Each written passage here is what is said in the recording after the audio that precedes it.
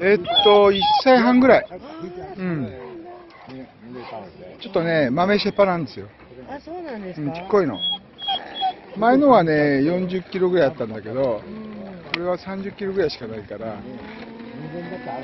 これでもう成長終わり。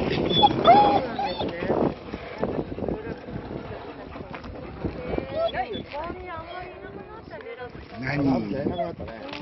何あーヒューマくん。あ、さ、毛がすごい柔らか。しつけしないと。うん。あのいやいやいやだ。女の子？オスです。こっちはオスです。うんあ、そうなんですだから大会とか、アジの大会とか黒ラブ多いから。すごい。そうでしょ、うね。だから